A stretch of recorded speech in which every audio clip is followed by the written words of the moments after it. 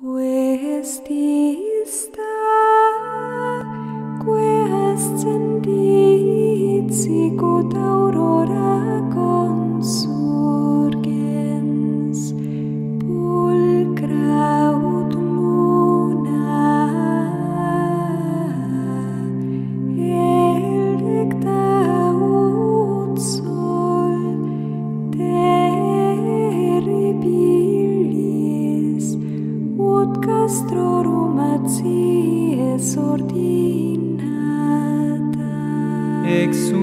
Deus et dissipentur inimitiae eius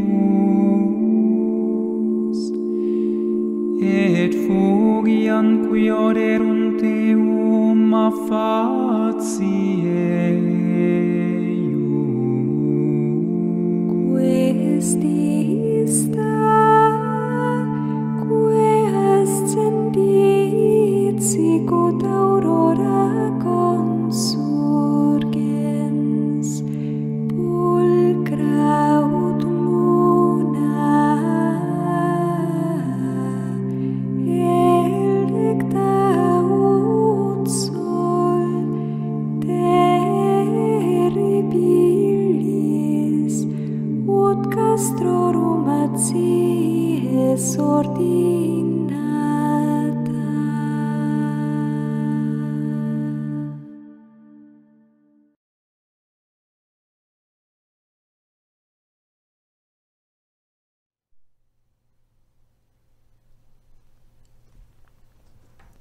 Catecismo da Igreja Católica, canal Leconde.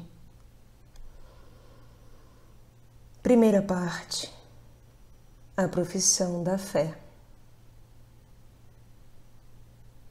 Primeira sessão: Eu creio, nós cremos.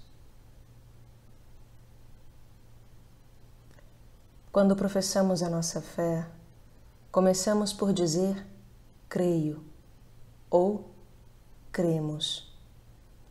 Portanto, antes de expor a fé da Igreja, tal como é confessada no Credo, celebrada na liturgia, vivida na prática dos mandamentos e na oração, perguntemos a nós mesmos o que significa crer.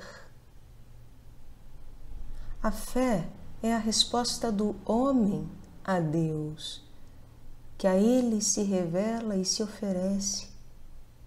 Resposta que, ao mesmo tempo, traz uma luz superabundante ao homem que busca o sentido último de sua vida.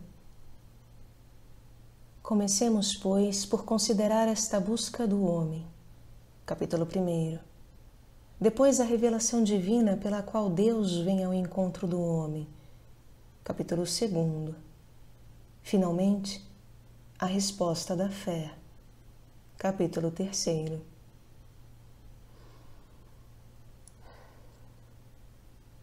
Capítulo 1. O homem é capaz de Deus.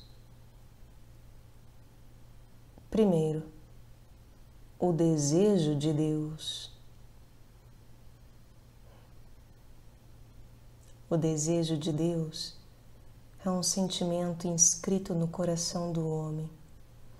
Porque o homem foi criado por Deus e para Deus. Deus não cessa de atrair o homem para si, e só em Deus é que o homem encontra a verdade e a felicidade que procura sem descanso. A razão mais sublime da dignidade humana consiste na sua vocação à comunhão com Deus desde o começo da sua existência, o homem é convidado a dialogar com Deus. Pois se existe, é só porque, criado por Deus, por amor, é por Ele e por amor, constantemente conservado. Nem pode viver plenamente segundo a verdade se não reconhecer livremente esse amor e não se entregar ao seu Criador. De muitos modos, na sua história e até hoje, os homens exprimiram a sua busca de Deus em crenças e comportamentos religiosos, orações, sacrifícios, cultos, meditações, etc. Apesar das ambiguidades de que podem enfermar, estas formas de expressão são tão universais que bem podemos chamar ao homem um ser religioso. Deus criou de um só homem todo o gênero humano para habitar sobre a superfície da terra e fixou períodos determinados e os limites da sua habitação para que os homens procurassem a Deus e se esforçassem realmente por o atingir e encontrar. Na verdade, Ele não está longe de cada um de nós. É nele que vivemos nos movemos e existimos. Atos capítulo 17, versículo 26 a 28. Mas esta relação íntima e vital que une o homem a Deus pode ser esquecida, desconhecida e até explicitamente rejeitada pelo homem. Tais atitudes podem ter origens diversas a revolta contra o mal existente no mundo, a ignorância ou a indiferença religiosas, as preocupações do mundo e das riquezas, o mau exemplo dos crentes, as correntes de pensamento hostis à religião e, finalmente, a atitude do homem pecador que, por medo, se esconde de Deus e foge quando ele o chama. Exulte o coração dos que procuram o Senhor. Salmos capítulo 105, versículo 3.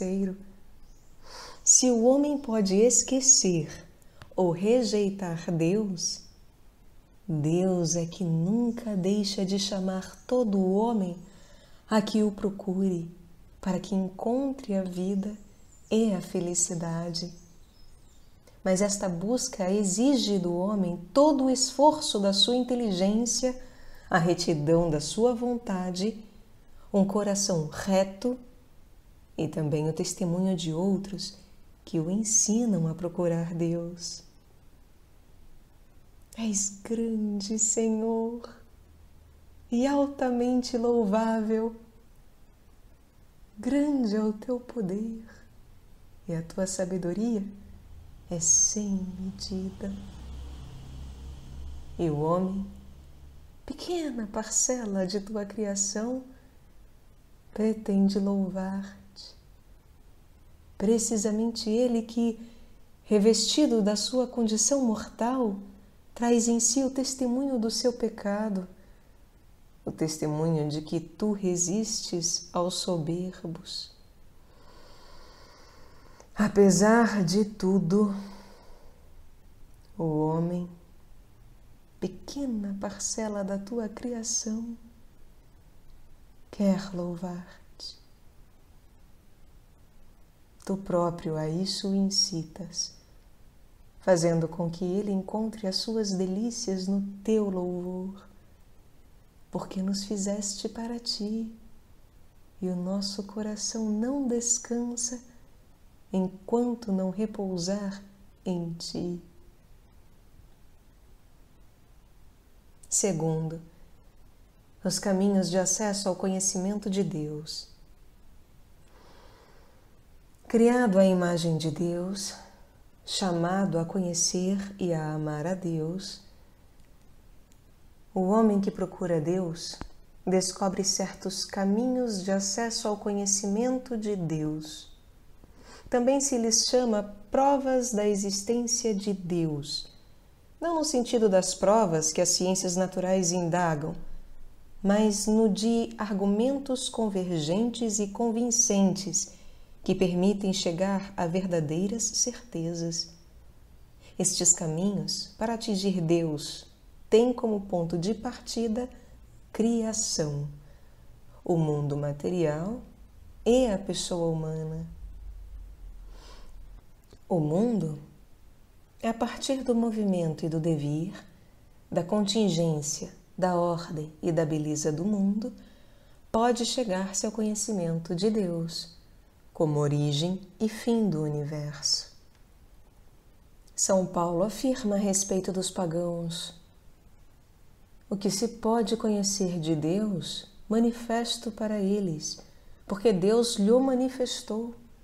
Desde a criação do mundo, as perfeições invisíveis de Deus, o seu poder eterno e a sua divindade tornam-se pelas suas obras visíveis à inteligência.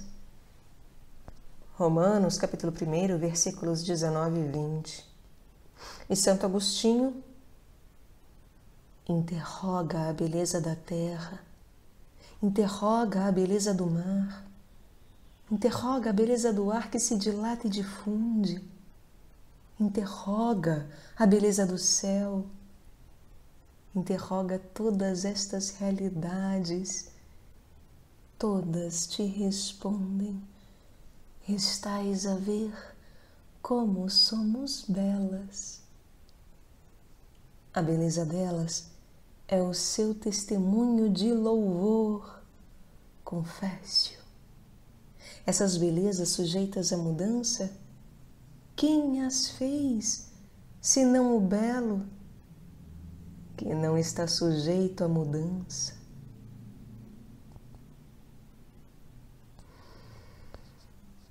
O homem, com a sua abertura à verdade e à beleza, com seu sentido do bem moral, com a sua liberdade e a voz da sua consciência, com a sua ânsia de infinito e de felicidade, o homem interroga-se sobre a existência de Deus. Nestas aberturas, ele detecta sinais da sua alma espiritual, germen de eternidade que traz em si mesmo, irredutível à simples matéria. A sua alma só em Deus pode ter origem. O mundo e o homem atestam que não têm em si mesmos nem o seu primeiro princípio, nem o seu fim último, mas que participam do ser em si, sem princípio nem fim. Assim, por estes diversos caminhos, o homem pode ter acesso ao conhecimento da existência de uma realidade que é a causa primeira e o fim último de tudo, e a que todos chamam Deus. As faculdades do homem tornam-no capaz de conhecer a existência de um Deus pessoal, mas, para que o homem possa entrar na sua intimidade, Deus quis revelar-se ao homem e dar-lhe a graça de poder receber com fé esta revelação. Todavia, as provas da existência de Deus podem dispor para a fé e ajudar a perceber que a fé não se opõe à razão humana. Terceiro, o conhecimento de Deus segundo a Igreja. A Santa Igreja nossa Mãe, atesta e ensina que Deus, princípio e fim de todas as coisas, pode ser conhecido com certeza pela luz natural da razão humana, a partir das coisas criadas. Sem esta capacidade, o homem não poderia acolher a revelação de Deus. O homem tem esta capacidade, porque foi criado a imagem de Deus. Gênesis capítulo 1, versículo 27. Nas condições históricas em que se encontra, o homem experimenta, no entanto, muitas dificuldades para chegar ao conhecimento de Deus só com as luzes da razão. Com efeito, para falar com simplicidade, apesar de a razão humana poder verdadeiramente pelas suas forças e luz naturais, chegar a um conhecimento verdadeiro e certo de um Deus pessoal que protege e governa o mundo pela sua providência, bem como de uma lei natural inscrita pelo Criador nas nossas almas, há, contudo, bastantes obstáculos que impedem esta mesma razão de usar eficazmente e com fruto o seu poder natural porque as verdades que dizem respeito a Deus e aos homens ultrapassam absolutamente a ordem das coisas sensíveis. E quando devem traduzir-se em atos e informar a vida, exigem que nos demos e renunciemos a nós próprios. O espírito humano, para adquirir semelhantes verdades, sofre dificuldade da parte dos sentidos e da imaginação, bem como dos maus desejos nascidos do pecado original. Daí deriva que, em tais matérias, os homens se persuadem facilmente da falsidade, ou, pelo menos, da incerteza das coisas que não desejariam fossem verdadeiras.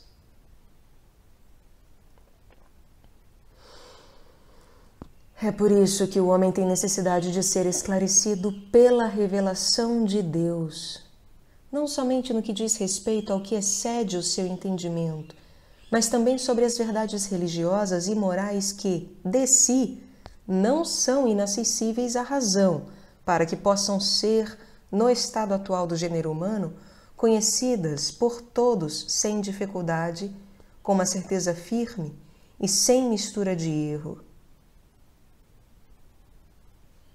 Quarto, como falar de Deus?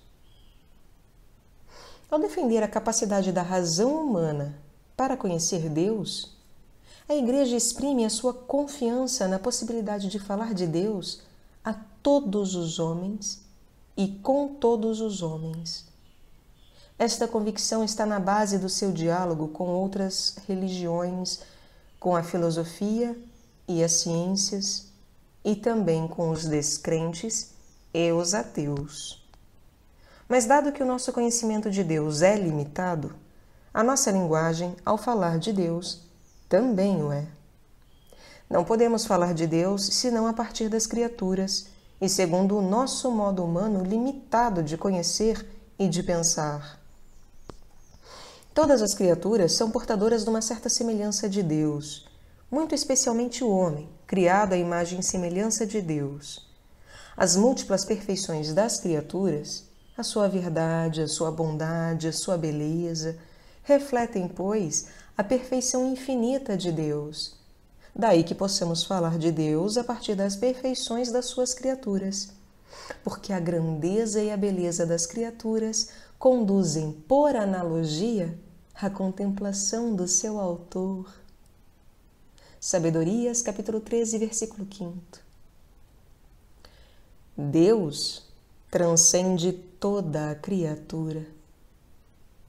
Devemos, portanto, purificar incessantemente a nossa linguagem no que ela tem de limitado, de ilusório, de imperfeito, para não confundir o Deus inefável, incompreensível, invisível, impalpável com as nossas representações humanas. As nossas palavras humanas ficam sempre aquém do mistério de Deus. Ao falar assim de Deus, a nossa linguagem exprime-se evidentemente de modo humano, mas atinge realmente o próprio Deus, sem todavia poder exprimi-lo na sua infinita simplicidade. Devemos lembrar-nos de que, entre o Criador e a criatura, não é possível notar uma semelhança sem que a dissemelhança seja ainda maior e de que não nos é possível apreender de Deus o que Ele é, senão apenas o que Ele não é e como se situam os outros seres em relação a Ele. Resumindo, o homem é, por natureza e vocação, um ser religioso. Vindo de Deus e caminhando para Deus, o homem não vive uma vida plenamente humana, senão na medida em que livremente viver a sua relação com Deus. O homem foi feito para viver em comunhão com Deus, em quem encontra a sua felicidade. Quando eu estiver todo em ti, não mais haverá tristeza nem angústia. Inteiramente repleta de ti, a minha vida será vida plena, quando escuta a mensagem das criaturas e a voz da sua consciência, o homem pode alcançar a certeza da existência de Deus, causa e fim de tudo. A Igreja ensina que o Deus único e verdadeiro, nosso Criador e Senhor, pode ser conhecido com certeza pelas suas obras, graças à luz natural da razão humana. Nós podemos realmente falar de Deus partindo das múltiplas perfeições das criaturas, semelhanças de Deus infinitamente perfeito, ainda que a nossa linguagem limitada não consiga esgotar o mistério. A criatura sem o Criador esvai-se. Por isso, os crentes sentem-se pressionados pelo amor de Cristo a levar a luz do Deus vivo aos que o ignoram ou rejeitam.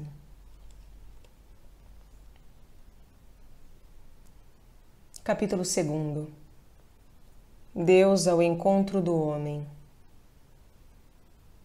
Pela razão natural, o homem pode conhecer Deus com certeza a partir das suas obras. Mas existe outra ordem de conhecimento que o homem de modo nenhum pode atingir por suas próprias forças a da revelação divina. Por uma vontade absolutamente livre, Deus revela-se e dá-se ao homem. E falo revelando seu mistério o desígnio benevolente que, desde toda a eternidade, estabeleceu em Cristo em favor de todos os homens. Revela plenamente o seu desígnio, enviando o seu Filho bem-amado, nosso Senhor Jesus Cristo e o Espírito Santo. Artigo 1. A revelação de Deus. Primeiro, Deus revela o seu desígnio benevolente.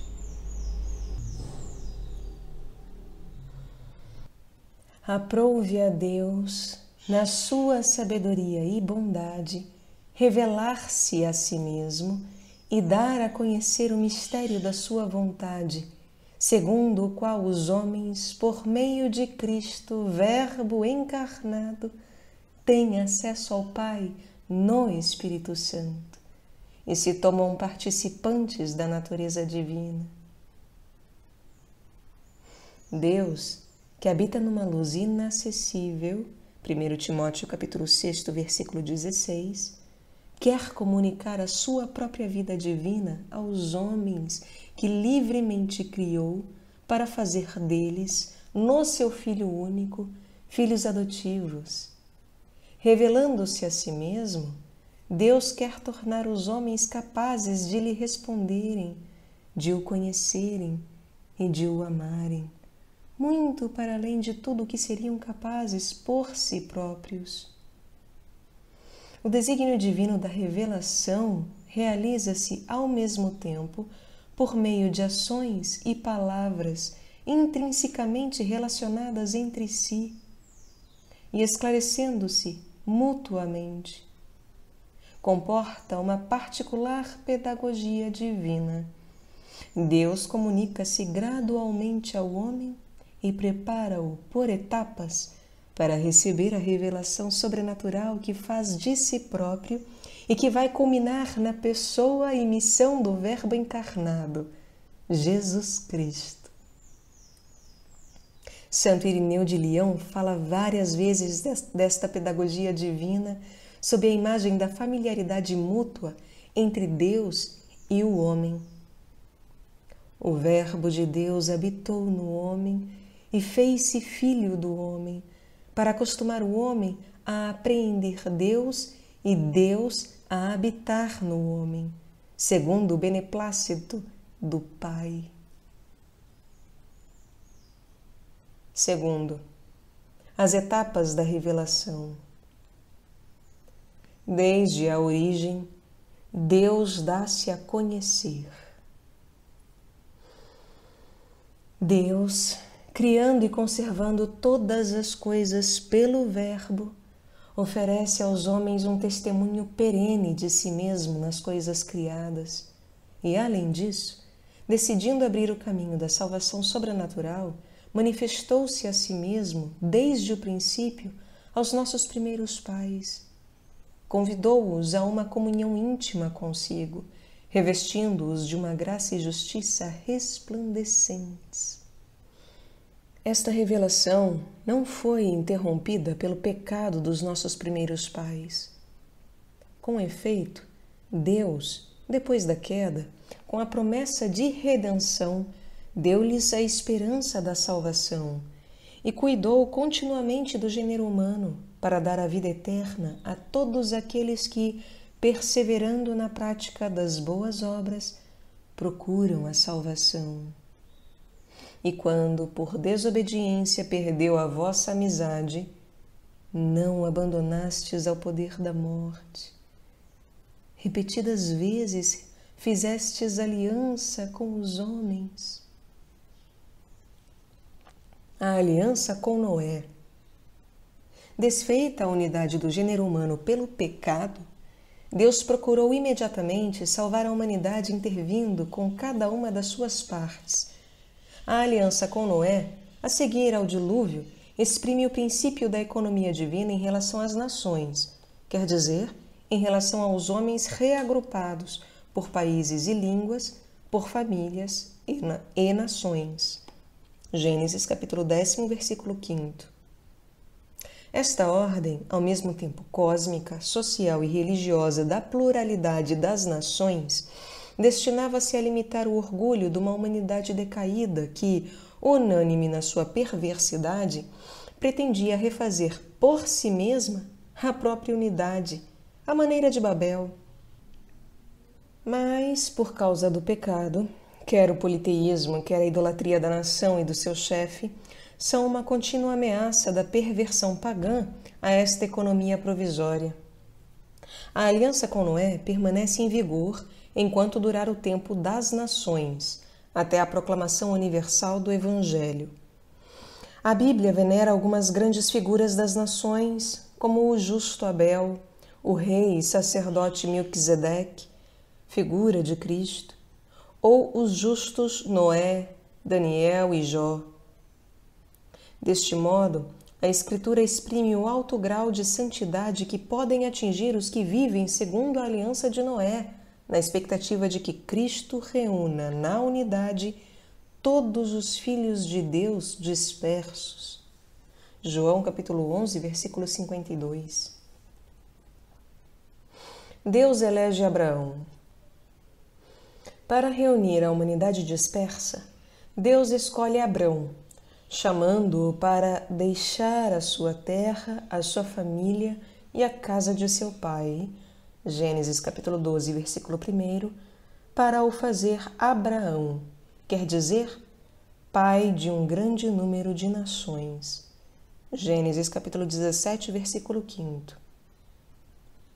Em ti serão abençoadas todas as nações da terra. Gênesis capítulo 12, versículo 3.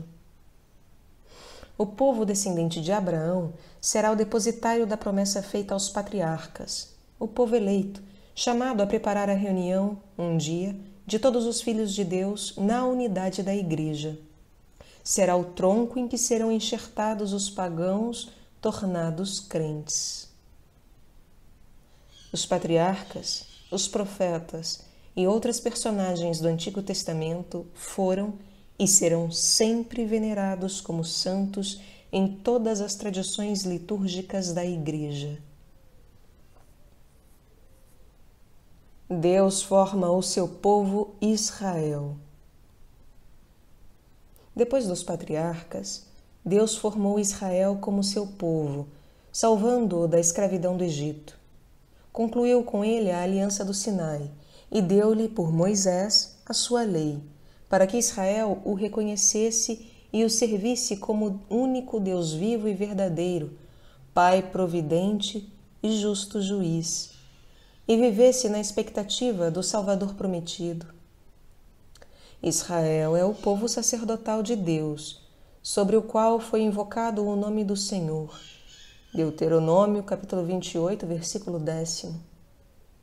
É o povo daqueles a quem Deus falou em primeiro lugar.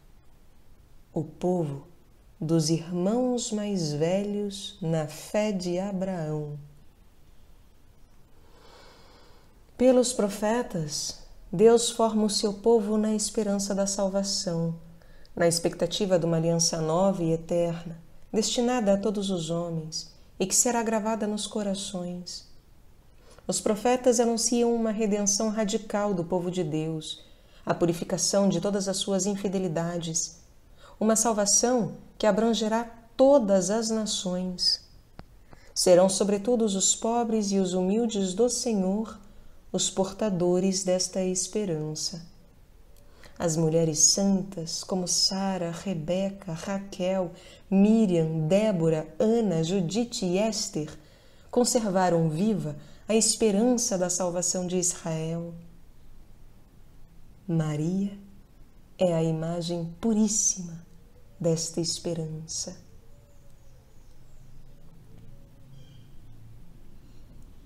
Terceiro, Jesus Cristo, mediador e plenitude de toda a revelação.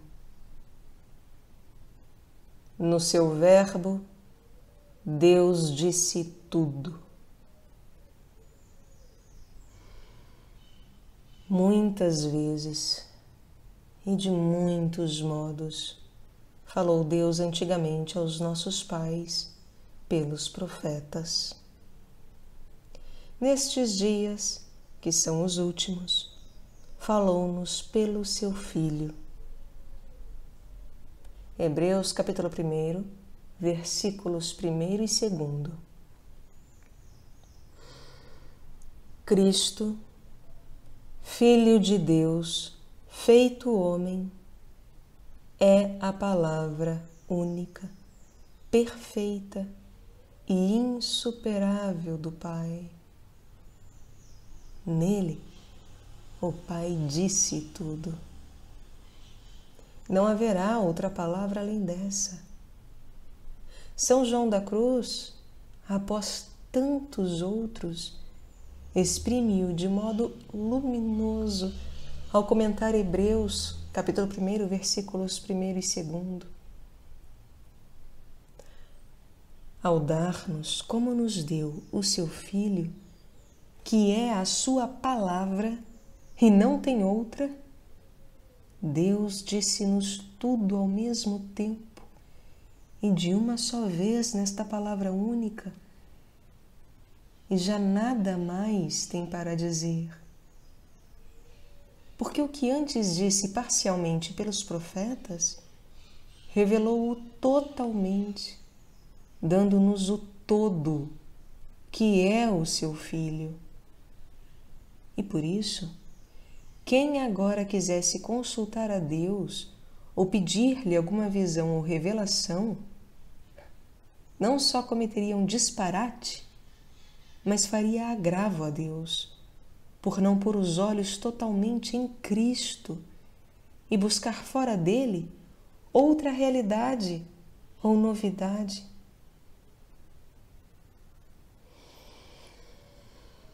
Já não haverá outra revelação. Portanto, a economia cristã, como nova e definitiva aliança, jamais passará e já não se há de esperar nenhuma nova revelação pública antes da gloriosa manifestação de nosso Senhor Jesus Cristo.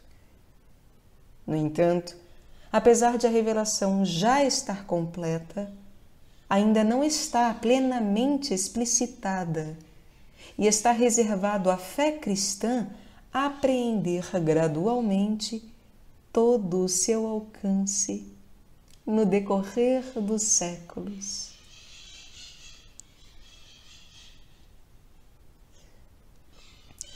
No decurso dos séculos tem havido revelações ditas privadas algumas das quais foram reconhecidas pela autoridade da Igreja. Todavia, não pertence ao depósito da fé. O seu papel não é aperfeiçoar ou completar a revelação definitiva de Cristo, mas ajudar a vivê-la mais plenamente numa determinada época da história.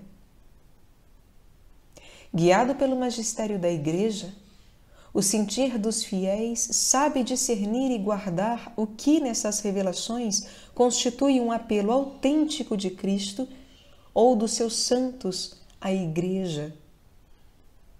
A fé cristã não pode aceitar revelações que pretendam ultrapassar ou corrigir a revelação de que Cristo é a plenitude. É o caso de certas religiões não cristãs e também de certas seitas recentes, fundadas sobre tais revelações. Resumindo, por amor, Deus revelou-se e deu-se ao homem. Dá assim uma resposta definitiva e superabundante às questões que o homem se põe a si próprio sobre o sentido e o fim da sua vida. Deus revelou-se ao homem, comunicando-lhe gradualmente o seu próprio mistério por ações e por palavras. Além do testemunho que dá de si mesmo através das coisas criadas, Deus manifestou-se a si próprio aos nossos primeiros pais, falou-lhes e, depois da queda, prometeu-lhes a salvação e ofereceu-lhes a sua aliança. Deus concluiu com Noé uma aliança eterna sobre si e todos os seres vivos. Essa aliança durará enquanto durar o mundo. Deus escolheu Abraão e concluiu uma aliança com ele e seus descendentes. Fez deles o seu povo, ao qual revelou a sua lei por meio de Moisés, e preparou-o, pelos profetas, a acolher a salvação destinada a toda a humanidade. Deus revelou-se plenamente, enviando o seu próprio Filho, no qual estabeleceu a sua aliança para sempre.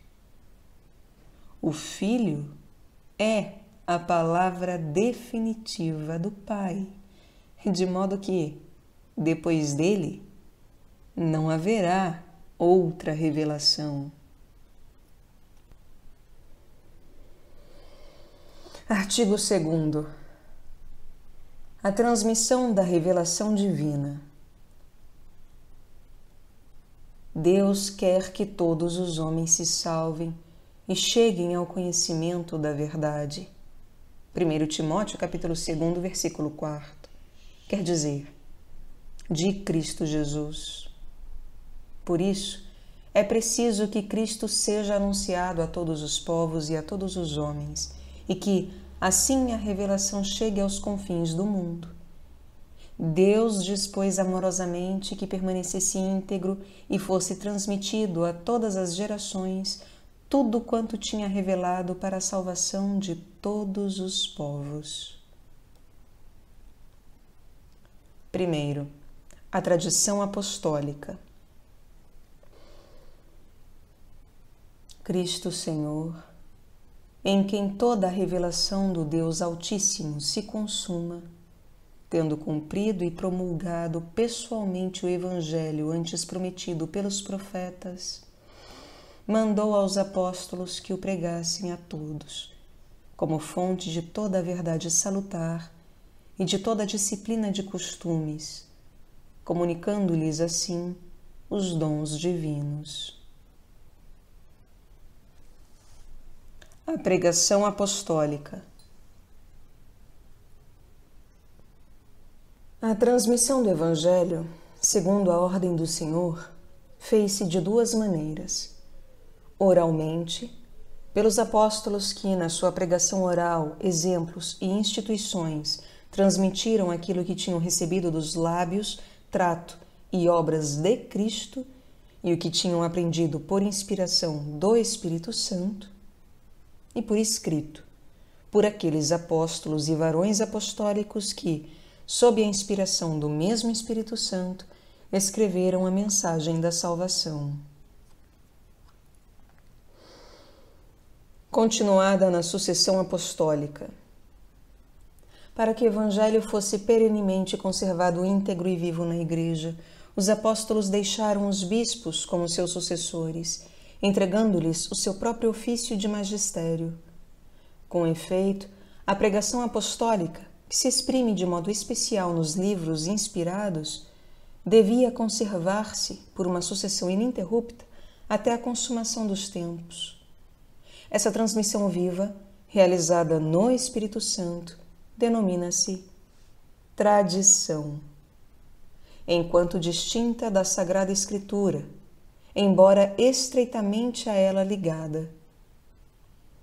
Pela tradição, a Igreja, na sua doutrina, vida e culto, perpetua e transmite a todas as gerações tudo aquilo que ela é e tudo em que acredita.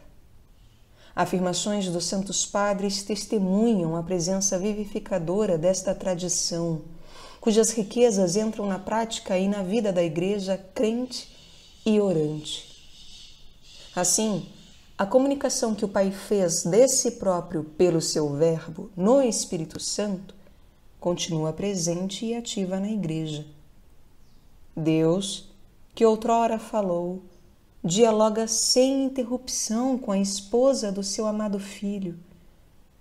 E o Espírito Santo, por quem ressoa a voz do Evangelho na Igreja e pela Igreja no mundo, introduz os crentes na verdade plena e faz com que a palavra de Cristo neles habite em toda a sua riqueza. Segundo, a relação entre a tradição e a Sagrada Escritura. Uma fonte comum. A tradição sagrada e a Sagrada Escritura estão intimamente unidas e compenetradas entre si.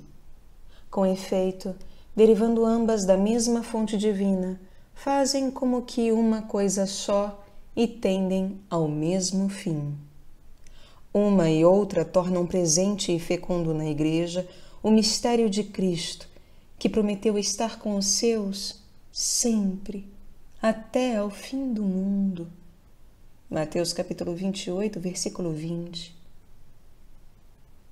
Duas formas de transmissão distintas. A Sagrada Escritura é a palavra de Deus enquanto foi escrita por inspiração do Espírito Divino.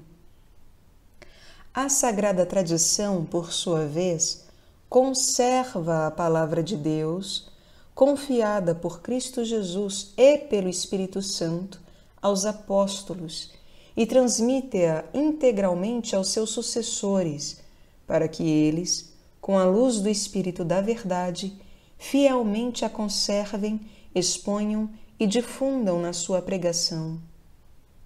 Daí resulta que a Igreja, a quem está confiada a transmissão e a interpretação da revelação, não tira só da Sagrada Escritura a sua, a sua certeza a respeito de todas as coisas reveladas.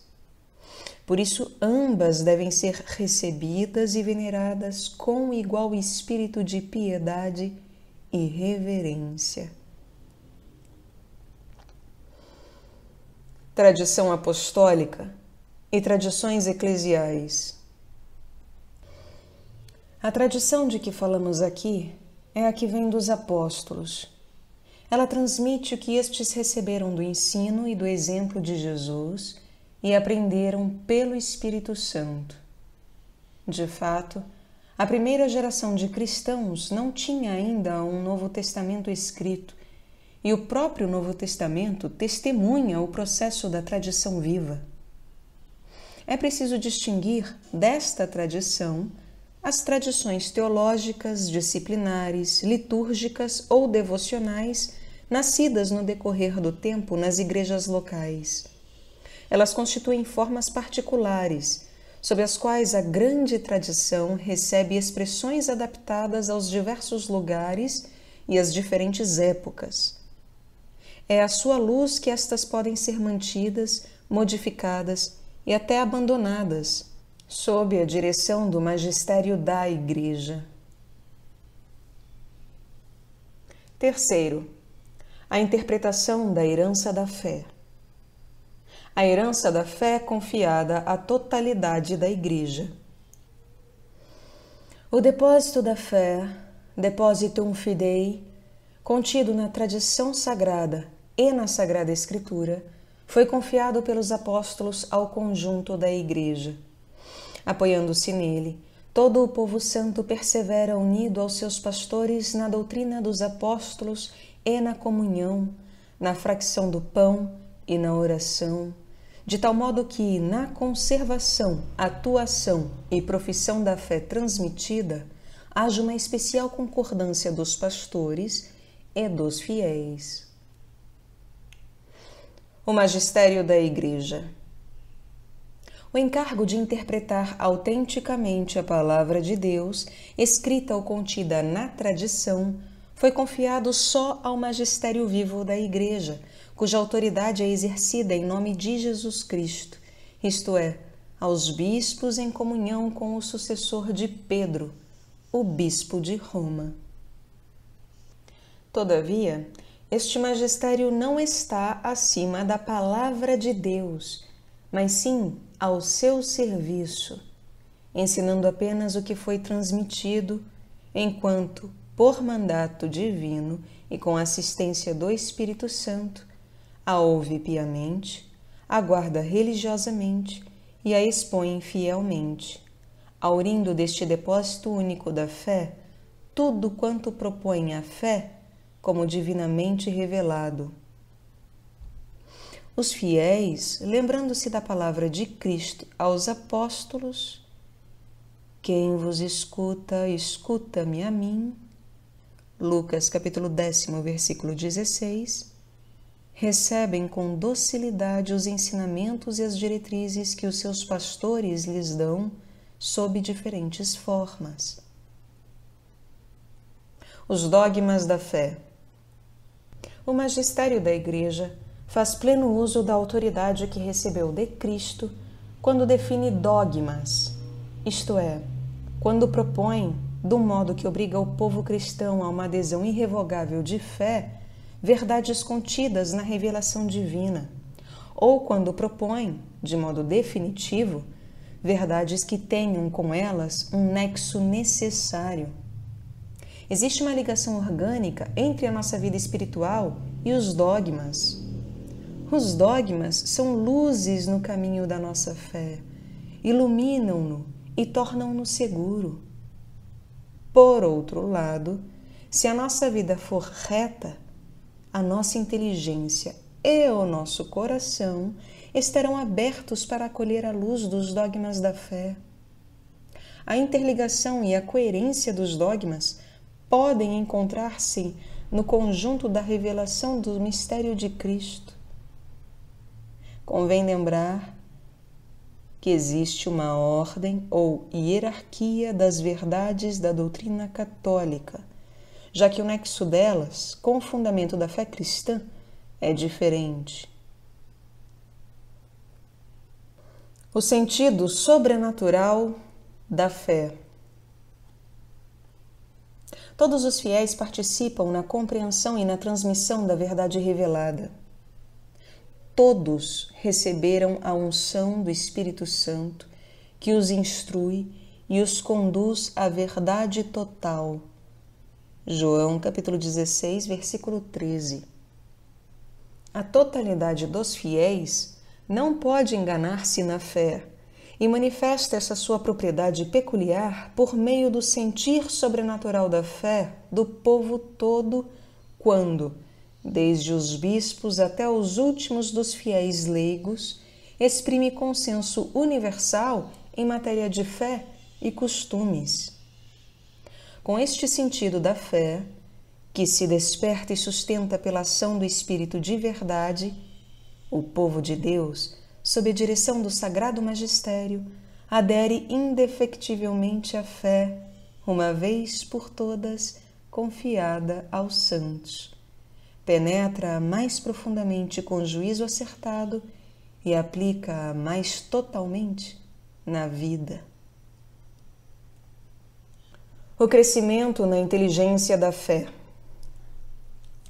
Graças à assistência do Espírito Santo, a inteligência das realidades e das palavras do depósito da fé pode crescer na vida da Igreja pela contemplação e pelo estudo dos crentes que as meditam no seu coração e, particularmente, pela investigação teológica que aprofunda o conhecimento da verdade revelada, pela inteligência interior das coisas espirituais que os crentes experimentam, divina eloquia cum legente crescunt, as palavras divinas crescem com quem as lê, pela pregação daqueles que receberam, com a sucessão episcopal, um carisma certo da verdade. É claro, portanto, que a sagrada tradição, a sagrada escritura e o magistério da Igreja, segundo um sapientíssimo desígnio de Deus, estão de tal maneira ligados e conjuntos que nenhum pode subsistir sem os outros, e todos juntos, cada um a seu modo, sob a ação do mesmo Espírito Santo, contribuem eficazmente para a salvação das almas. Resumindo, o que Cristo confiou aos apóstolos, estes o transmitiram pela sua pregação e por escrito, sob a inspiração do Espírito Santo, a todas as gerações, até a vinda gloriosa de Cristo. A Sagrada Tradição e a Sagrada Escritura constituem um único depósito sagrado da Palavra de Deus, no qual, como um espelho, a Igreja peregrina contempla a Deus, fonte de todas as suas riquezas. Na sua doutrina, vida e culto, a Igreja perpetua e transmite a todas as gerações tudo aquilo que ela é, tudo aquilo em que acredita Graças ao sentido sobrenatural da fé, o povo de Deus, no seu todo, não cessa de acolher o dom da revelação divina, de nele penetrar mais profundamente e de viver dele mais plenamente.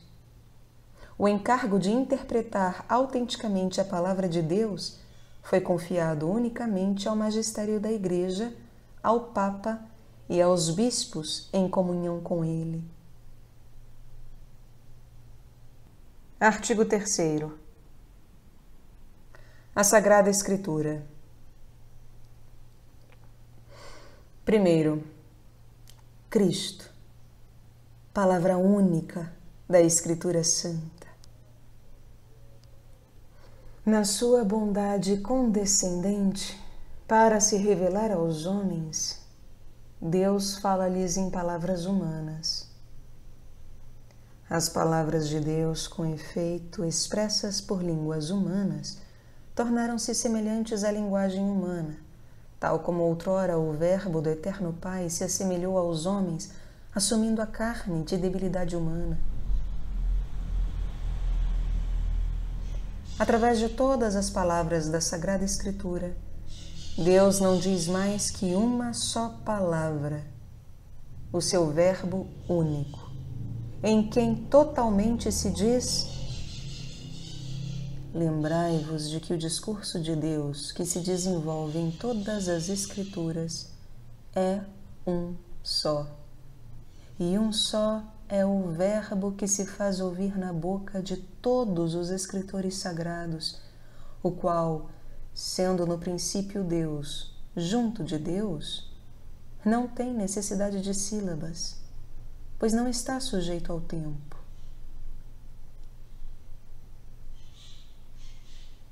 Por esta razão, a Igreja sempre venerou as Divinas Escrituras, tal como venera o corpo do Senhor. Nunca cessa de distribuir aos fiéis o pão da vida, tornado à mesa quer da palavra de Deus, quer do corpo de Cristo. Na Sagrada Escritura, a igreja encontra continuamente o alimento, o seu alimento e a sua força, porque nela não recebe apenas uma palavra humana, mas o que ela é na realidade a palavra de Deus. Nos livros sagrados, com efeito, O Pai que está nos céus vem amorosamente ao encontro dos seus filhos, a conversar com eles. Segundo, inspiração e verdade da Sagrada Escritura. Deus é o autor da Sagrada Escritura. A verdade divinamente revelada que os livros da Sagrada Escritura contêm e apresentam foi registrada neles sob a inspiração do Espírito Santo. Com efeito, a Santa Mãe Igreja, segundo a fé apostólica, considera como sagrados e canônicos os livros, os livros completos do Antigo e do Novo Testamento, com todas as suas partes, porque, escritos por inspiração do Espírito Santo, tem Deus por autor e, como tais, foram confiados à própria Igreja.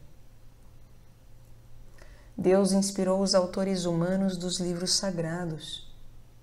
Para escrever os livros sagrados, Deus escolheu e serviu-se de homens na posse das suas faculdades e capacidades para que, agindo Ele neles e por eles, pusesse por escrito como verdadeiros autores tudo aquilo e só aquilo que ele queria.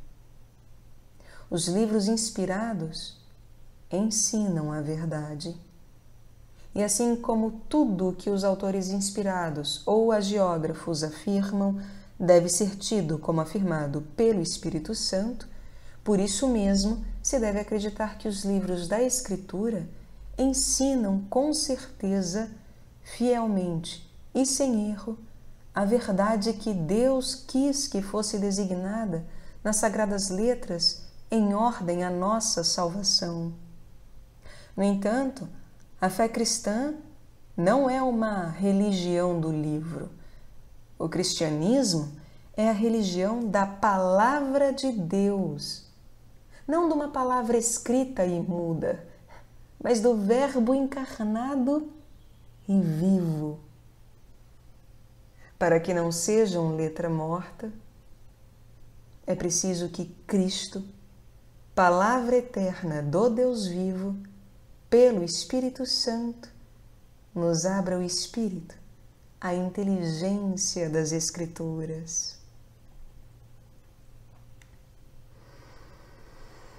Terceiro, o Espírito Santo Intérprete da Escritura. Na Sagrada Escritura, Deus fala ao homem à maneira dos homens. Portanto, para bem interpretar a Escritura, é necessário prestar atenção ao que os autores humanos realmente quiseram dizer e a aquilo que aprouve a Deus manifestar-nos pelas palavras deles. Para descobrir a intenção dos autores sagrados, é preciso ter em conta as condições do seu tempo e da sua cultura, os gêneros literários em uso na respectiva época, os modos de sentir, falar e narrar correntes naquele tempo, porque a verdade é proposta e expressa de modos diversos, em textos históricos de vária índole, ou proféticos, ou poéticos, ou de outros gêneros de expressão. Mas uma vez que a Sagrada Escritura é inspirada, existe outro princípio de interpretação reta, não menos importante que o anterior, e sem o qual a Escritura seria letra morta. A Sagrada Escritura deve ser lida e interpretada com o mesmo espírito com que foi escrita. O Segundo Concílio do Vaticano indica três critérios para uma interpretação da Escritura conforme ao Espírito que a inspirou. 1. Um, prestar grande atenção ao conteúdo e à unidade de toda a Escritura. Com efeito, por muito diferentes que sejam os livros que a compõem, a Escritura é una, em razão da unidade do desígnio de Deus, de que Jesus Cristo é o centro e o coração aberto desde a sua Páscoa. Por coração de Cristo entende-se a Sagrada Escritura que nos dá a conhecer o coração de Cristo Este coração estava fechado antes da paixão, porque a Escritura estava cheia de obscuridades. Mas a Escritura ficou aberta depois da paixão, e assim aqueles que desde então a consideram com inteligência discernem o modo como as profecias devem ser interpretadas. 2. Ler a Escritura na tradição viva de toda a Igreja. Segundo uma sentença dos padres, Sacra Scriptura principalius est in cordie ecclesiae quoni materialibus instrumentis scripta. A Sagrada Escritura está escrita no coração da Igreja, mais do que em instrumentos materiais. Com efeito, a Igreja conserva na sua tradição a memória viva da Palavra de Deus e é o Espírito Santo que lhe dá a interpretação espiritual da Escritura. Secundum spiritualem sensum quem spiritus donati ecclesiae. Segundo o sentido espiritual que o Espírito Santo dá à Igreja. 3.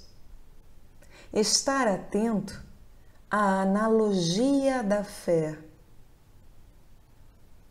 Por analogia da fé, entendemos a coesão das verdades da fé entre si e no projeto total da revelação. Os sentidos da Escritura.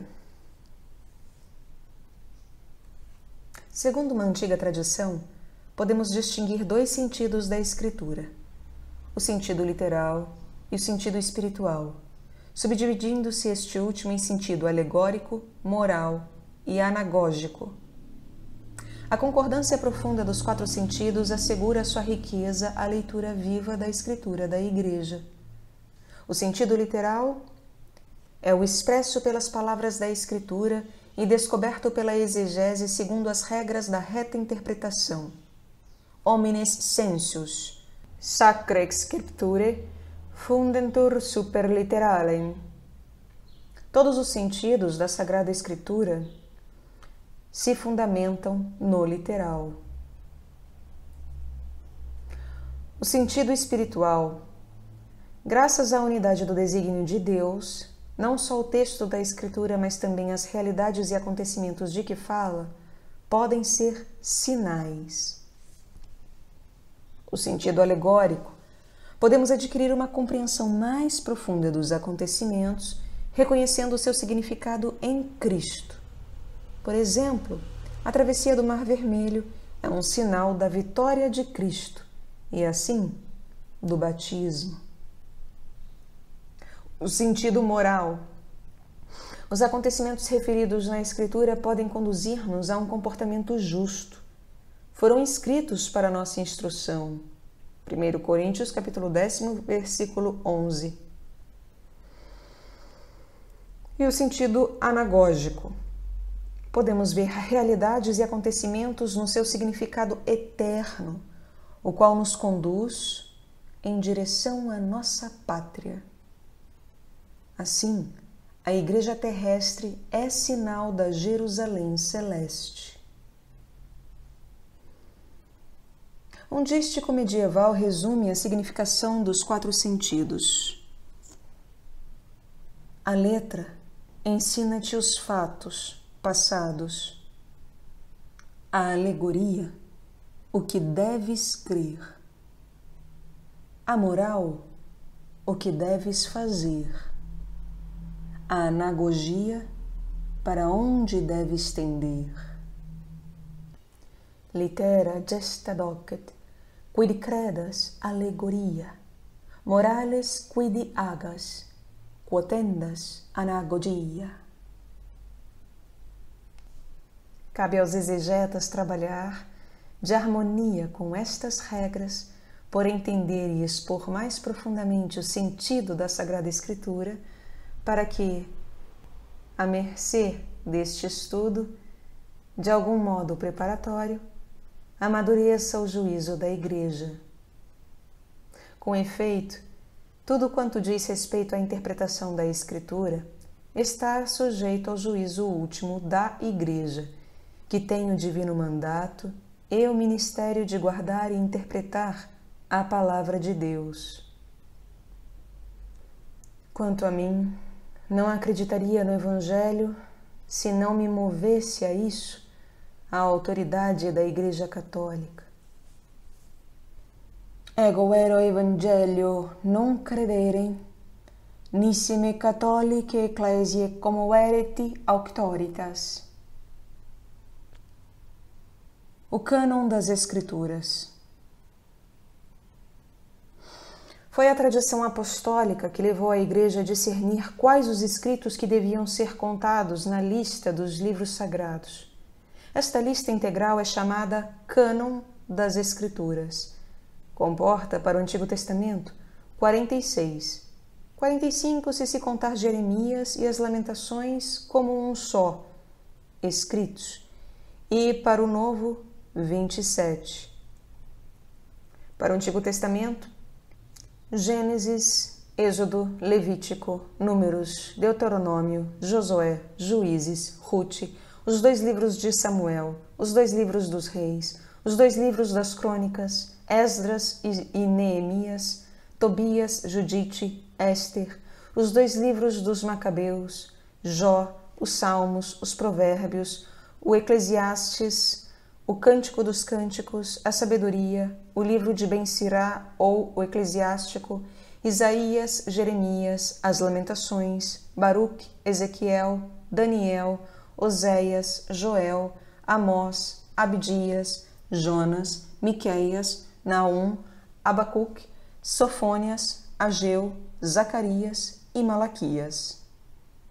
Para o Novo Testamento, os evangelhos de Mateus, Marcos, Lucas e João, os Atos dos Apóstolos, as epístolas de São Paulo, os Romanos, 1 e 2 aos Coríntios, aos Gálatas, aos Efésios, aos Filipenses, aos Colossenses, 1 e 2 aos Tessalonicenses, 1 e 2 a Timóteo, a Tito, a Filémon, a Epístola dos Hebreus, a Epístola de Tiago, a 1 e 2 de Pedro, as três, as três epístolas de João, a epístola de Judas e o Apocalipse.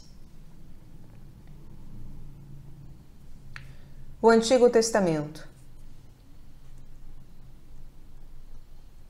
O Antigo Testamento é uma parte da Sagrada Escritura de que não se pode prescindir. Os seus livros são divinamente inspirados e conservam um valor permanente, porque a antiga aliança nunca foi revogada. Efetivamente, a economia do Antigo Testamento destinava-se, sobretudo, a preparar o advento de Cristo, Redentor universal. Os livros do Antigo Testamento, apesar de conterem também coisas imperfeitas e transitórias, dão testemunho de toda a divina pedagogia do amor salvífico de Deus.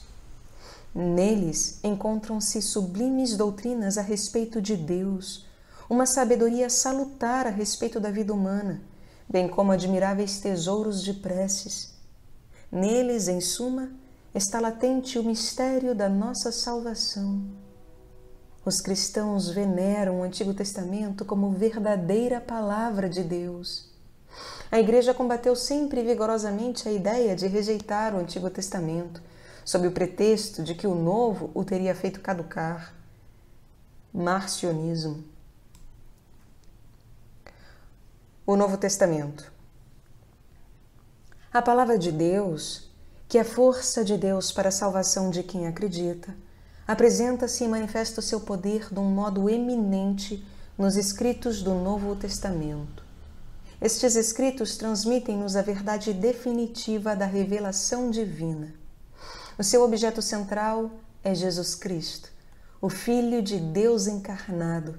Os seus atos, os seus ensinamentos, a sua paixão e glorificação, bem como os primórdios da sua Igreja sob a ação do Espírito Santo. Os Evangelhos são o coração de todas as Escrituras, enquanto são o principal testemunho da vida e da doutrina do Verbo encarnado, nosso Salvador. Na formação dos evangelhos, podemos distinguir três etapas. a vida e os ensinamentos de Jesus. A Igreja sustenta firmemente que os quatro evangelhos, cuja historicidade afirma sem hesitações, transmitem fielmente as coisas que Jesus, Filho de Deus, realmente operou e ensinou para a salvação eterna dos homens durante a sua vida terrena, até ao dia em que subiu ao céu. A tradição oral. Na verdade, após a sucessão do Senhor, os apóstolos transmitiram aos seus ouvintes, com aquela compreensão mais plena de que gozavam, uma vez instruídos pelos acontecimentos gloriosos de Cristo e iluminados pelo Espírito da Verdade, as coisas que ele tinha dito e feito. Os Evangelhos escritos. Os autores sagrados, porém, escreveram os quatro Evangelhos, escolhendo algumas coisas entre as muitas transmitidas por palavra e por escrito, sintetizando umas, desenvolvendo outras, segundo o estado das igrejas, conservando finalmente o caráter de pregação, mas sempre de maneira a comunicar-nos comunicar coisas verdadeiras e sinceras acerca de Jesus. O Evangelho quadriforme ocupa na Igreja um lugar único, de que são testemunhas a veneração de que a liturgia o rodeia e o atrativo incomparável que em todos os tempos exerceu sobre os santos. Não há doutrina melhor, mais preciosa e esplêndida do que o texto do Evangelho. Vede e retende o que o nosso Senhor e Mestre Cristo ensinou pelas palavras e realizou pelos seus atos. É sobretudo o Evangelho que me ocupa durante as minhas orações. Nele encontro tudo o que é necessário à minha pobre alma. Nele descubro sempre novas luzes sentidos escondidos e misteriosos. A unidade do Antigo e do Novo Testamento. A Igreja, já nos, já nos tempos apostólicos e depois constantemente na sua tradição, pôs em evidência a unidade do plano divino nos dois testamentos, graças à tipologia esta descobre nas obras de Deus, na antiga aliança, prefigurações do que o mesmo Deus realizou na plenitude dos tempos, na pessoa do seu Filho encarnado. Os cristãos leem, pois, o Antigo Testamento à luz de Cristo morto e ressuscitado.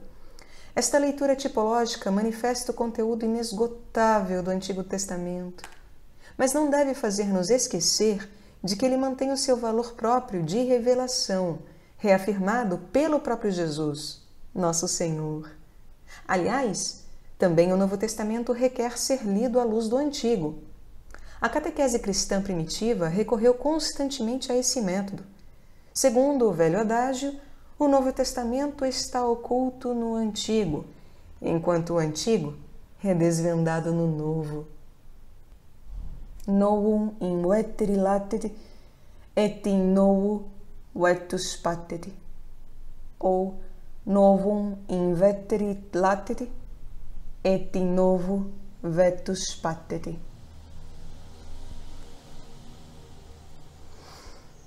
A tipologia significa o dinamismo em ordem ao cumprimento do plano divino, quando Deus for tudo em todos. 1 Coríntios capítulo 15, versículo 28. Assim, a vocação dos patriarcas e o êxodo do Egito, por exemplo, não perdem o seu valor próprio no plano de Deus pelo fato de, ao mesmo tempo, serem etapas intermédias deste mesmo plano. Quinto, a Sagrada Escritura na vida da Igreja. É tão grande a força e a virtude da Palavra de Deus que ela se torna para a Igreja apoio e vigor, e para os filhos da Igreja, solidez da fé, alimento da alma, fonte pura e perene de vida espiritual. É necessário que os fiéis tenham largo acesso à Sagrada Escritura. O estudo das páginas sagradas deve ser como que a alma da sagrada teologia Também o ministério da palavra, isto é, a pregação pastoral, a catequese e toda espécie de instrução cristã, na qual a homilia litúrgica deve ter um lugar, um lugar principal, com proveito se alimenta e santamente se revigora com a palavra da Escritura. A Igreja exorta com ardor e insistência todos os fiéis a que aprendam a sublime ciência de Jesus Cristo. Filipenses capítulo 3, versículo 8. Na leitura frequente da Sagrada Escritura. Porque a ignorância das Escrituras é a ignorância de Cristo. Resumindo, toda a Escritura divina é um só livro, e esse livro único é Cristo, porque toda a Escritura divina fala de Cristo e toda a Escritura divina se cumpre em Cristo. Omnis Scriptura divina unus liber est, et ili unus liber Christus est, quia hominis Scriptura divina de Christo loquitur, et hominus Scriptura divina in Cristo impletur. As Sagradas Escrituras contêm a palavra de Deus, e pelo fato de serem inspiradas, são verdadeiramente a palavra de Deus. Deus é o autor da Sagrada Escritura, ao inspirar os seus autores humanos, agir neles e por eles e assim nos dá a garantia de que os seus escritos ensinam, sem erro, a verdade da salvação. A interpretação das Escrituras inspiradas deve, antes de mais nada, estar atenta ao que Deus quer revelar, por meio dos autores sagrados, para nossa salvação. O que vem do Espírito não é plenamente entendido, senão pela ação do Espírito. A Igreja recebe e venera como inspirados os 46 livros do Antigo e os 27 do Novo Testamento. Os quatro evangelhos ocupam um lugar central, dado que Jesus Cristo é o seu centro. A unidade dos dois testamentos deriva da unidade do plano de Deus e da sua revelação. O Antigo Testamento prepara o Novo, ao passo que o Novo dá cumprimento ao Antigo. Os dois esclarecem-se mutuamente. Ambos são verdadeira palavra de Deus. E a Igreja sempre venerou as Divinas Escrituras, tal como o próprio corpo do Senhor, ambos alimentam e regem toda a vida cristã. A vossa palavra é farol para os meus passos e luz para os meus caminhos. Salmos capítulo 119, versículo 105.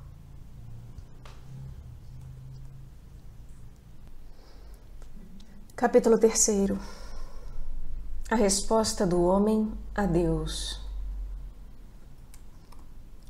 Pela sua revelação, Deus invisível, na riqueza do seu amor, fala aos homens como amigos e convive com eles para os convidar a admitir a comunhão com Ele. A resposta adequada a este convite é a fé. Pela fé, o homem submete completamente a Deus a inteligência e a vontade. Com todo o seu ser, o homem dá assentimento a Deus revelador. A Sagrada Escritura chama obediência da fé a esta resposta do homem a Deus revelador. Artigo 1. Eu creio. Primeiro, a obediência da fé. Obedecer, ob audire, na fé, é submeter-se livremente à palavra escutada, por a sua verdade ser garantida por Deus que é a própria verdade. Desta obediência, o modelo que a Sagrada Escritura nos propõe é Abraão.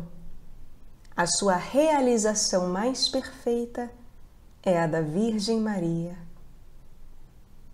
Abraão, o pai de todos os crentes.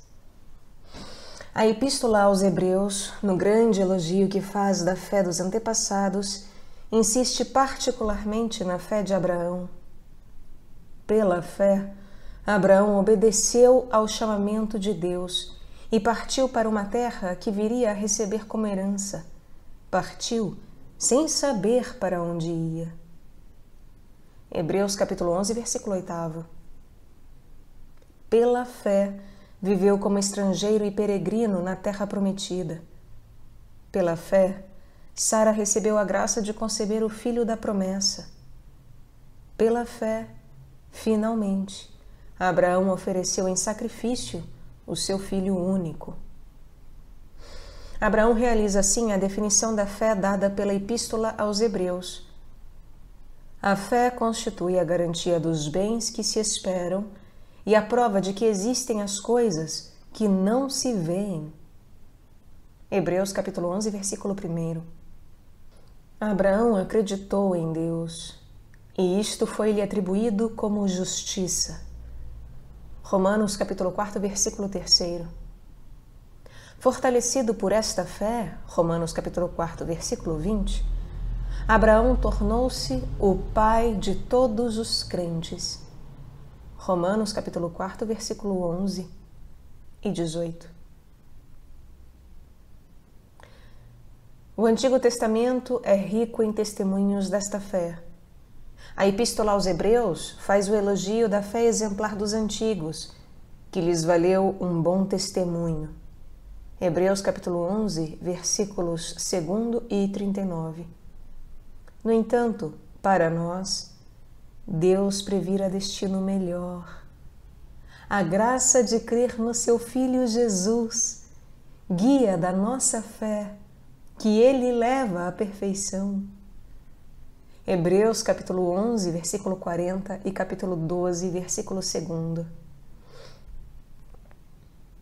Maria, feliz aquela que acreditou. A Virgem Maria realiza do modo mais perfeito a obediência da fé. Na fé, Maria acolheu o anúncio e a promessa trazidos pelo anjo Gabriel, acreditando que a Deus nada é impossível. Lucas capítulo 1, versículo 37. E dando o seu assentimento. Eis a serva do Senhor, faça-se em mim segundo a tua palavra. Lucas capítulo 1, versículo 38. Isabel saudou-a Feliz aquela que acreditou no cumprimento de quanto lhe foi dito da parte do Senhor. Lucas capítulo 1, versículo 45. É em virtude desta fé que todas as gerações a hão de proclamar bem-aventurada. Durante toda a sua vida e até a última provação, quando Jesus, seu filho, morreu na cruz, sua fé jamais vacilou. Maria nunca deixou de crer no cumprimento da palavra de Deus. Por isso, a Igreja venera em Maria a mais pura realização da fé. Segundo, eu sei em quem pus a minha fé. Segundo Timóteo, capítulo 1, versículo 12. Crer só em Deus. Antes de mais, a fé é uma adesão pessoal do homem a Deus. Ao mesmo tempo e inseparavelmente, é o assentimento livre a toda a verdade revelada por Deus. Enquanto adesão pessoal a Deus e assentimento à verdade por Ele revelada, a fé cristã difere da fé numa pessoa humana. É justo e bom confiar totalmente em Deus e crer absolutamente no que ele diz. Seria vão e falso ter semelhante fé numa criatura. Crer em Jesus Cristo, Filho de Deus. Para o cristão, crer em Deus é crer inseparavelmente naquele que Deus enviou, no seu Filho muito amado, em quem ele pôs todas as suas complacências. Deus mandou-nos que o escutássemos. O próprio Senhor disse aos seus discípulos: Acreditais em Deus, acreditai também em mim. João capítulo 14, versículo 1. Podemos crer em Jesus Cristo, porque Ele próprio é Deus, o Verbo feito carne. A Deus nunca ninguém ouviu, o Filho unigênito que está no seio do Pai é que o deu a conhecer. João capítulo 1, versículo 18. Porque viu o Pai. João capítulo 6, versículo 46. Ele é o único que o conhece e o pode revelar.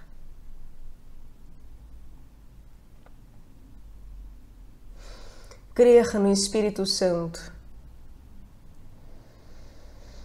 Não é possível acreditar em Jesus Cristo sem ter parte no seu Espírito. É o Espírito Santo que revela aos homens quem é Jesus, porque ninguém é capaz de dizer Jesus é Senhor a não ser pela ação do Espírito Santo. 1 Coríntios, capítulo 12, versículo 3.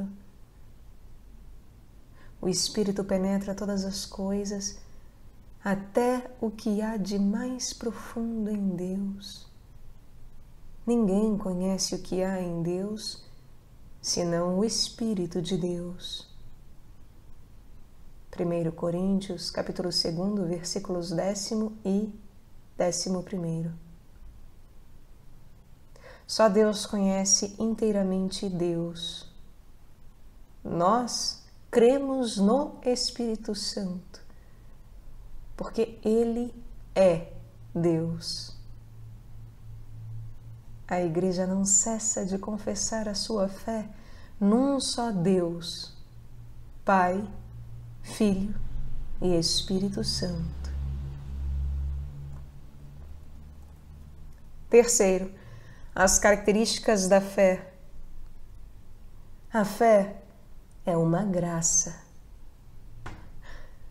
Quando Pedro confessa que Jesus é o Cristo, o Filho do Deus vivo, Jesus declara-lhe que esta revelação não veio da carne nem do sangue, mas do seu Pai que está nos céus.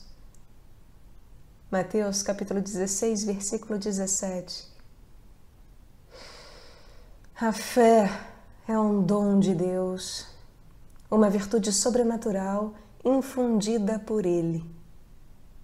Para prestar esta adesão da fé, são necessários a prévia e concomitante ajuda da graça divina e os interiores auxílios do Espírito Santo, o qual move e converte o coração para Deus, abre os olhos do entendimento e dá a todos a suavidade em aceitar e crer a verdade. A fé é um ato humano. O ato de fé só é possível pela graça e pelos auxílios interiores do Espírito Santo. Mas não é menos verdade que crer é um ato autenticamente humano. Não é contrário nem à liberdade nem à inteligência do homem confiar em Deus e aderir às verdades por Ele reveladas. Mesmo nas relações humanas, não é contrário à nossa própria dignidade acreditar no que outras pessoas nos dizem acerca de si próprias e das suas intenções, e confiar nas suas promessas, como por exemplo quando um homem e uma mulher se casam, para assim entrarem em mútua comunhão. Por isso, é ainda menos contrário à nossa dignidade prestar pela fé submissão plena da nossa inteligência e da nossa vontade a Deus revelador e entrar assim em comunhão íntima com Ele. Na fé, a inteligência e a vontade humanas cooperam com a graça divina. Crer é o ato da inteligência que presta o seu assentimento à verdade divina por determinação da vontade, movida pela graça de Deus. Credere este actus intellectus assentientes veritate divini ex imperio voluntatis. Morte per gratiam. A fé e a inteligência. O motivo de crer não é o fato de as verdades reveladas aparecerem como verdadeiras e inteligíveis à luz da nossa razão natural. Nós cremos por causa da autoridade do próprio Deus revelador, que não pode enganar-se nem enganar-nos. Contudo, para que a homenagem da nossa fé fosse conforme a razão, Deus quis que os auxílios interiores do Espírito Santo fossem acompanhados de provas exteriores da sua revelação. Assim, os milagres de Cristo e dos santos, as profecias, a propagação e a santidade da Igreja, a sua fecundidade e estabilidade, são sinais certos da revelação, adaptados à inteligência de todos, motivos de credibilidade mostrando que o assentimento da fé não é, de modo algum, um movimento cego do espírito. A fé é certa, mais certa que qualquer conhecimento humano, porque se funda na própria palavra de Deus, que não pode mentir. Sem dúvida, as verdades reveladas podem parecer obscuras à razão e as experiências humanas. Mas a certeza dada pela luz divina é maior do que a dada pela luz da razão natural. Dez mil dificuldades não fazem uma só dúvida. A fé procura compreender. É inerente à fé o desejo do crente de conhecer melhor aquele em quem acreditou e de compreender melhor o que ele revelou. Um conhecimento mais profundo exigirá, por sua vez, uma fé maior e cada vez mais abrasada em amor. A graça da fé abre os olhos do coração. Efésios capítulo 1, versículo 18, para uma inteligência viva dos conteúdos da revelação, isto é, do conjunto do desígnio de Deus e dos mistérios da fé, da íntima conexão que os liga entre si e com Cristo, centro do mistério revelado. Ora, para que a compreensão da revelação seja cada vez mais profunda, o mesmo Espírito Santo aperfeiçoa sem cessar a fé mediante os seus dons. Assim, conforme o dito de Santo Agostinho, eu creio para compreender e compreendo para crer melhor. Fé e ciência. Muito embora a fé esteja acima da razão, nunca pode haver verdadeiro desacordo entre ambas. O mesmo Deus que revela os mistérios e comunica a fé também acendeu no espírito humano a luz da razão.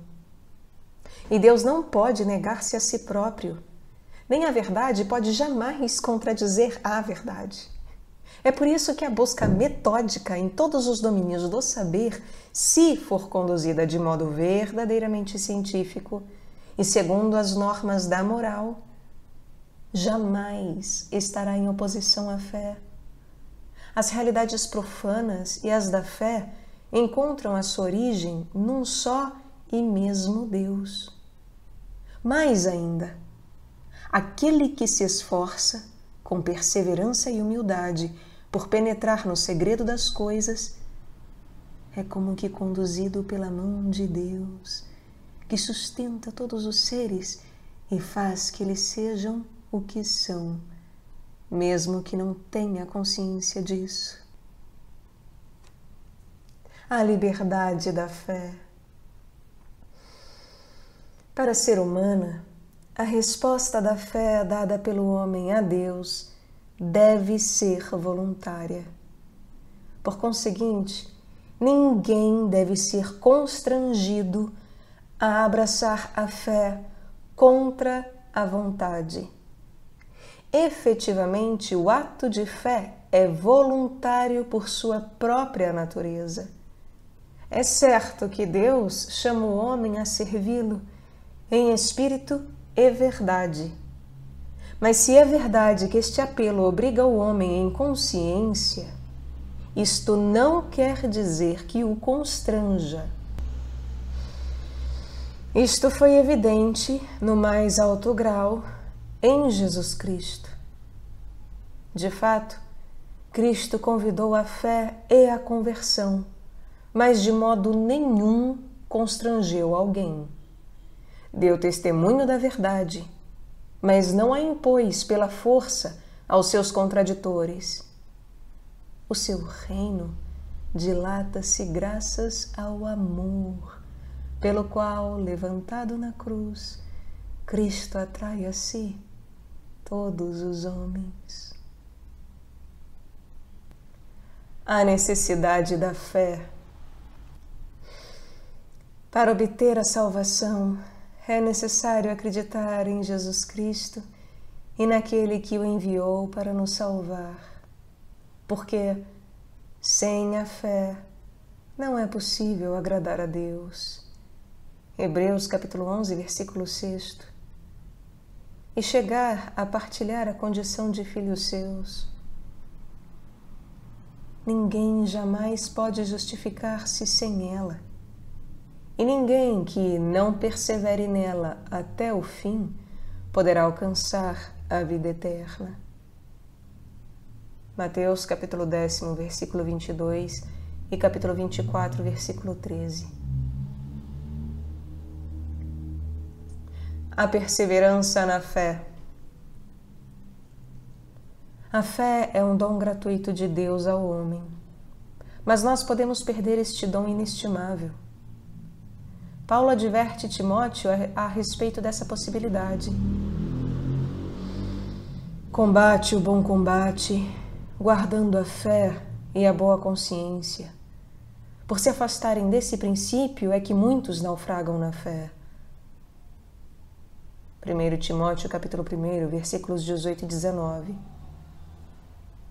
Para viver, crescer e perseverar até o fim na fé, temos de a alimentar com a palavra de Deus. Temos de pedir ao Senhor que nola aumente. Ela deve agir pela caridade. Gálatas, capítulo 5, versículo 6 ser sustentada pela esperança e permanecer enraizada na fé da Igreja. A fé, vida eterna iniciada. A fé faz que saboreemos, como que de antemão, a alegria e a luz da visão beatífica termo da nossa caminhada nesta terra. Então veremos Deus face a face. 1 Coríntios capítulo 13, versículo 12, tal como ele é. 1 João capítulo 3, versículo 2. A fé, portanto, é já o princípio da vida eterna enquanto desde já contemplamos os benefícios da fé como reflexo num espelho, é como se possuíssemos já as maravilhas que a nossa fé nos garante havermos de gozar um dia. Por enquanto, porém, caminhamos pela fé e não vemos claramente. Segundo Coríntios capítulo 5, versículo 7. E conhecemos Deus como num espelho, de maneira confusa, imperfeita. 1 Coríntios capítulo 13, versículo 12. Luminosa por parte daquele em quem ela crê, a fé é muitas vezes vivida na obscuridade e pode ser posta à prova. O mundo em que vivemos parece muitas vezes bem afastado daquilo que a fé nos diz. As experiências do mal e do sofrimento, das injustiças e da morte parecem contradizer a boa nova, podem abalar a fé e tornarem-se, em relação a ela, uma tentação. É então que nos devemos voltar para as testemunhas da fé. Abraão, que acreditou esperando contra toda a esperança. Romanos capítulo 4, versículo 18. A Virgem Maria, que, na peregrinação da fé, foi até a noite da fé, comungando no sofrimento do seu filho e na noite do seu sepulcro. E tantas outras testemunhas da fé envoltos em tamanha nuvem de testemunhas, devemos desembaraçar-nos de todo o fardo e do pecado que nos cerca e correr e correr com constância o risco que nos é proposto, fixando os olhos no guia da nossa fé, o qual a leva à perfeição. Hebreus capítulo 12, versículos 1 e 2. Artigo 2. Nós cremos. A fé é um ato pessoal, uma resposta livre do homem à proposta de Deus que se revela. Mas não é um ato isolado. Ninguém pode acreditar sozinho, tal como ninguém pode viver só. Ninguém se deu a fé a si mesmo, como ninguém a si mesmo se deu a vida. Foi de outrem que o crente recebeu a fé, a outrem a deve transmitir. O nosso amor a Jesus e aos homens impele-nos a falar aos outros da nossa fé. Cada crente é assim um elo na grande cadeia dos crentes. Não posso crer sem ser amparado pela fé dos outros. E pela minha fé, contribuo também para amparar os outros na fé. Eu creio é a fé da Igreja, professada pessoalmente por cada crente, principalmente por ocasião do batismo. Nós cremos é a fé da Igreja, confessada pelos bispos reunidos em concílio ou, de modo mais geral, pela Assembleia Litúrgica dos Crentes. Eu creio, é também a Igreja, nossa mãe, que responde a Deus pela sua fé e nos ensina a dizer: Eu creio. Nós cremos. Primeiro, olhai, Senhor, para a fé da vossa Igreja. É, antes de mais, a Igreja que crê e que assim suporta, nutre e sustenta a minha fé. É primeiro a Igreja que, por toda a parte, confessa o Senhor a Santa Igreja anuncia por toda a terra a glória do vosso nome, como cantamos no Te Deum. Te per orbem terrarum sancta confitte tu ecclesia. Com ela e nela, também nós somos atraídos e levados a confessar: Eu creio, nós cremos. É da Igreja que recebemos a fé e a vida nova em Cristo pelo batismo. No ritual romano, o ministro do batismo pergunta ao catecúmeno: Que vens pedir à Igreja de Deus? E ele responde: A fé. Para que te serve a fé? Para alcançar a vida eterna.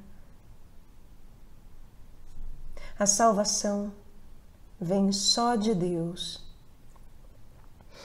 mas porque é através da Igreja que recebemos a vida da fé, a Igreja é nossa mãe. Cremos que a Igreja é como que a mãe do nosso novo nascimento, mas não cremos na Igreja como se ela fosse a autora da nossa salvação. É porque a nossa mãe é também a educadora da nossa fé. Segundo, a linguagem da fé. Não acreditamos em fórmulas, mas sim nas realidades que as fórmulas exprimem e que a fé nos permite tocar.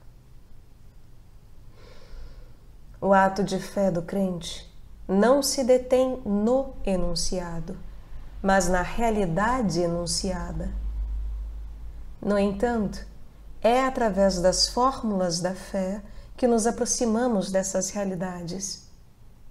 As fórmulas permitem-nos exprimir e transmitir a fé, celebrá-la em comunidade, assimilá-la e dela viver cada vez mais. A Igreja, que é coluna e apoio da verdade, 1 Timóteo capítulo 3, versículo 15, guarda fielmente a fé transmitida aos santos de uma vez por todas. É ela que guarda a memória das palavras de Cristo. É ela que transmite, de geração em geração, a confissão de fé dos apóstolos. Tal como uma mãe ensina os seus filhos a falar e dessa forma a compreender e a comunicar, a Igreja nossa Mãe, ensina-nos a linguagem da fé para nos introduzir na inteligência e na vida da fé. Terceiro, uma só fé. Desde há séculos, através de tantas línguas, culturas, povos e nações, a Igreja não cessa de confessar a sua fé única recebida de um só Senhor, transmitida por um só batismo, enraizada na convicção de que todos os homens têm apenas um só Deus e Pai. Santo Irineu de Leão, testemunha desta fé, declara: A Igreja, embora dispersa por todo o mundo até os confins da terra, tendo recebido dos apóstolos e dos seus discípulos a fé, Guarda esta pregação e esta fé com tanto cuidado como se habitasse numa só casa. Nela crê de modo idêntico, como tendo um só coração e uma só alma. Prega e ensina e transmite-a com voz unânime, como se tivesse uma só boca. Através do mundo, as línguas diferem mas o conteúdo da tradição é um só e o mesmo. Nem as igrejas estabelecidas na Germânia têm outra fé ou outra tradição, nem as que se estabeleceram entre os íberos e entre os celtas, as do Oriente, do Egito ou da Líbia, nem as que se fundaram no centro do mundo. A mensagem da igreja é verídica e sólida porque nela aparece um só e mesmo caminho de salvação em todo o mundo. Esta fé que recebemos da Igreja, guardamos-la nós cuidadosamente, porque sem cessar, sob a ação do Espírito de Deus, tal como um depósito de grande valor encerrado num vaso excelente, ela rejuvenesce e faz rejuvenescer o próprio vaso que a contém. Resumindo, a fé é uma adesão pessoal do homem todo a Deus que se revela. Comporta uma adesão da inteligência e da vontade à revelação que Deus fez de si mesmo pelas suas ações e palavras. Crer tem, pois, uma dupla referência: a pessoa e a verdade. A verdade pela confiança na pessoa que a atesta. Não devemos crer em mais ninguém senão em Deus Pai, Filho e Espírito Santo. A fé é um dom sobrenatural de Deus. Para crer, o homem tem necessidade dos auxílios interiores do Espírito Santo.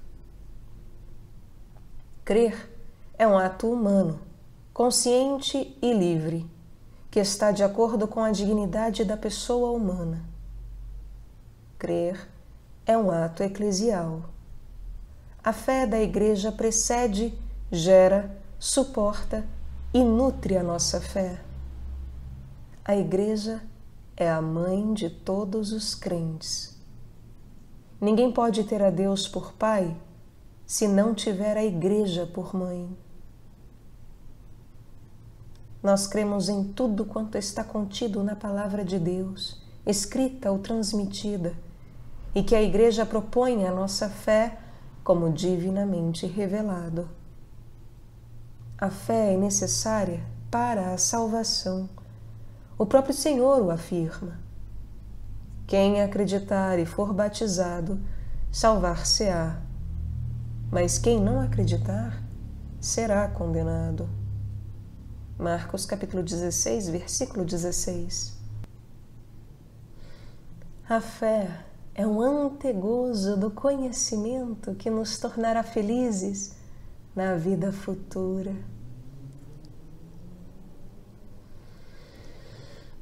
Credo.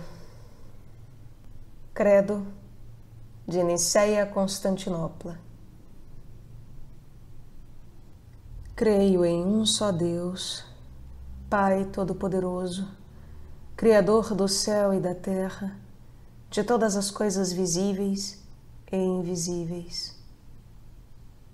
Creio em um só Senhor, Jesus Cristo, Filho unigênito de Deus, nascido do Pai antes de todos os séculos, Deus de Deus, luz da luz Deus verdadeiro de Deus verdadeiro, gerado, não criado, consubstancial ao Pai. Por Ele todas as coisas foram feitas, e por nós, homens, e para nossa salvação, desce dos céus. E encarnou pelo Espírito Santo no seio da Virgem Maria e se fez homem também por nós foi crucificado sob Pôncio Pilatos. Padeceu e foi sepultado. Ressuscitou ao terceiro dia, conforme as Escrituras, e subiu aos céus, onde está sentado à direita do Pai. De novo há de vir em sua glória para julgar os vivos e os mortos, e o seu reino não terá fim. Creio no Espírito Santo, Senhor que dá a vida, e procede do Pai e do Filho, e com o Pai e o Filho é adorado e glorificado. Ele que falou pelos profetas. Creio na Igreja Una, Santa, Católica e Apostólica. Professo um só batismo para a remissão dos pecados e espero a ressurreição dos mortos e a vida do mundo que há de vir. Amém. Credo, símbolo dos apóstolos. Creio em Deus Pai Todo-Poderoso, Criador do céu e da terra, e em Jesus Cristo, seu único Filho, nosso Senhor, que foi concebido pelo poder do Espírito Santo, nasceu da Virgem Maria, padeceu sob Pôncio Pilatos, foi crucificado, morto e sepultado, desceu à mansão dos mortos, ressuscitou ao terceiro dia, subiu aos céus, está sentado à direita de Deus Pai Todo-Poderoso, de onde há de vir a julgar os vivos e os mortos. Creio no Espírito Santo, na Santa Igreja Católica, na comunhão dos santos, na remissão dos pecados, na ressurreição da carne, na vida eterna. Amém.